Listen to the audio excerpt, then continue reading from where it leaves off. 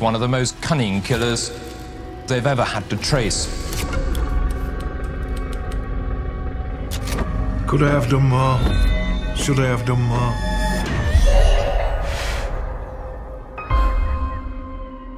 Police are investigating the discovery of a woman's body. 28 year old Wilma McCann. People read in the newspaper of prostitutes being killed, they shrug and move on. It was desperate times. It just seemed to be a one off murder.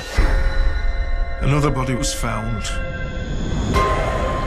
This was the ultimate crime against women. They had a similar type of injuries to the legendary Victorian killer. The so-called Yorkshire Ripper.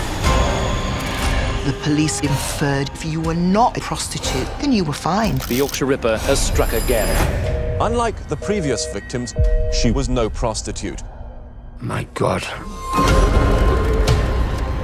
Any woman was at risk. This murder changed everything. The anger was now at boiling point. Five years is too long. If they haven't caught him yet, I don't think they ever will.